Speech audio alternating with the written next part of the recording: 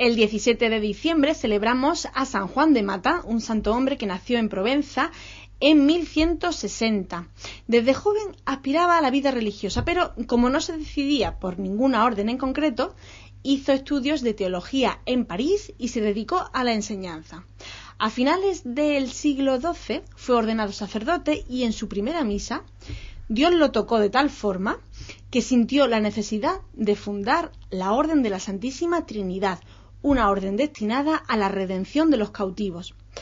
Para madurar la idea que, le había surgido en su primera misa, pues se marchó al desierto de Cerfroid, cuyos ermitaños que vivían allí serían la base de la orden que él eh, estaba fundando.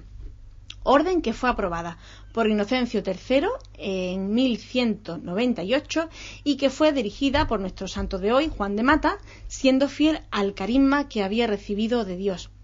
Juan murió en Roma el 17 de diciembre de 1213 y hoy lo celebramos y felicitamos de forma especial a esa orden que fundó, la Orden de la Santísima Trinidad, que están de fiesta por su fundador. Pues nos vemos mañana aquí en Diócesis TV.